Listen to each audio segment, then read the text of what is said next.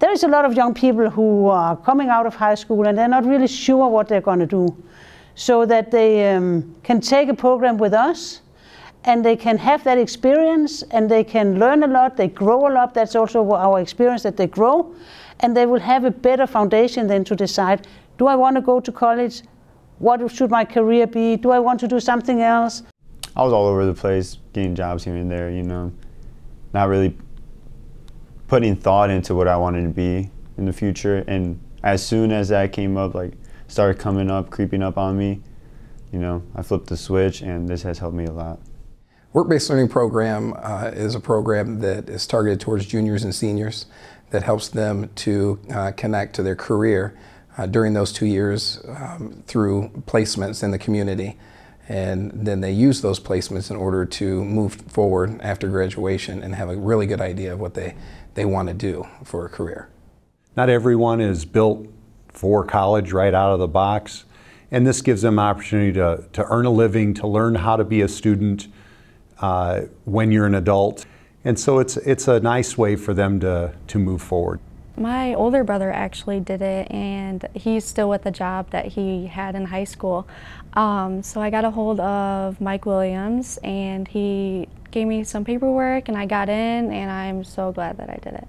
So at the beginning of the year, we spend two weeks going through a variety of different employability skills and then work toward our career plan so that everybody is lined up doing what, what they'd like to do. And then we meet every day, we meet, they come in and sign out um, at 11 o'clock. Some days we meet and we go over different, a variety of different things that relate to employability skills. We just go job shadow people in that field that we are interested in. And we meet up every single day after and talk about what we need to do and how we need to get stuff done, which is staying organized and keeping that strict schedule that you'd have. The expectations for this program are high. And so um, attendance is required daily. Uh, we have a point system, so I treat them as an employer would treat them. So they have a point system, they have to be here, communication has to be at its best at all times. So if they're not going to make it to school, they got to call in to me as well and let me know, you know, why they're not going to school. It teaches them responsibility, accountability, uh, and so it really helps to prepare them for what the workplace would expect from them.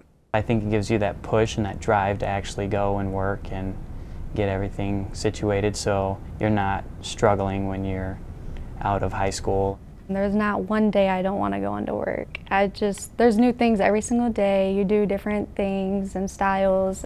As I go there more, I really like it and I know that's what I want to do. Well, the community itself has embraced it. Uh, we started it five years ago, um, and the demand in the community, as well as the United States for that matter, um, was high in needing employees.